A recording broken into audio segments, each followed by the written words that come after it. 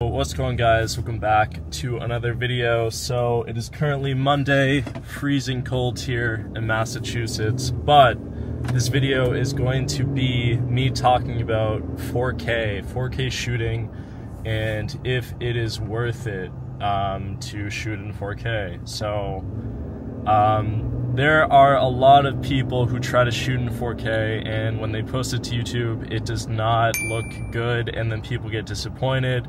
They say, is it really worth it? No, it's not really because my footage isn't gonna look as good.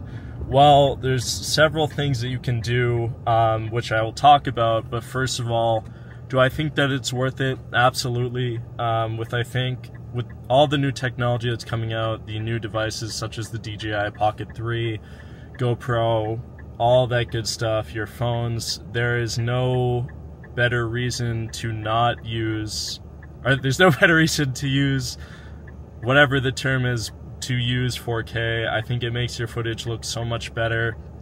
Um, so many more people, top content creators are using 4K, so honestly, like, why not do it?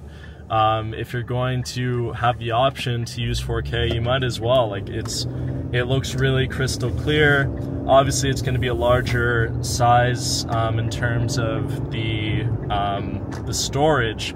However, your your shots, your footage is going to look way more professional, better quality. I mean, if you had to choose between shooting something in 720p or shooting in 4K, most people are going to say 4K some people think that shooting in 1080p is, you know, better than 4K. I think that's debatable, but again, it just really depends. But I think what this really boils down to is people having issues when shooting in 4K, and I think that discourages a lot of people, and they wonder, you know, what's the point of even having it? So there's a few things that you can do, which I've mentioned in uh, community posts before, but one thing that I'd highly recommend is to to obviously go on YouTube and search up how to edit um, using 4K. So that's how I learned, but I'm gonna try to, you know, give you a few simple tips. Obviously I'm driving, so I can't like give everything away, but the first thing that I would say is make sure you have a proper either micro SD,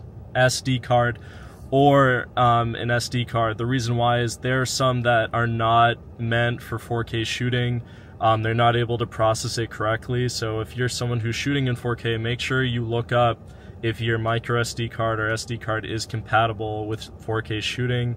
That's really important. Um, number two is a lot of the time when people try to upload the footage, their editing software is not formatted to edit and export in 4K um, in that setting.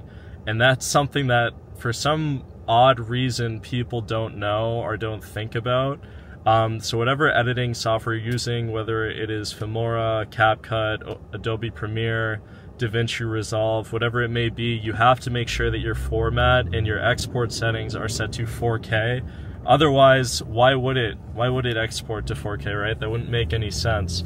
Um, number two is you're not exporting at a high enough um, bit rate and the bit rate is essentially just the rate at which it's going to process your video. The higher the bit rate, the higher, um, you know, quality essentially your footage is going to come out as.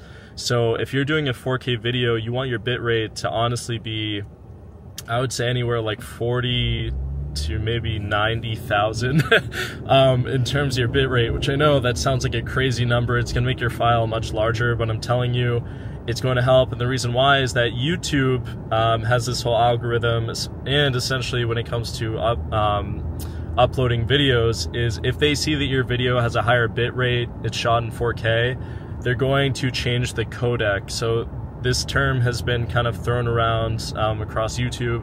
YouTube has a certain type of codec which determines the quality of your video. So um, there are two different types of codecs which essentially again they determine so you want to have the highest um, quality codec and the way that you're going to do that is making sure that your format settings are correct.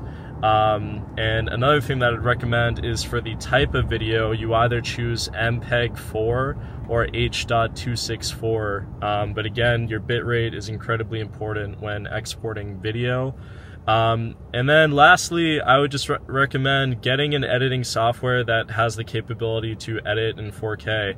I think there's a lot of editing softwares that people use that are free, um, and they're not really meant for 4K editing. So you have to really make sure that like the software that you're using is going to process and export correctly.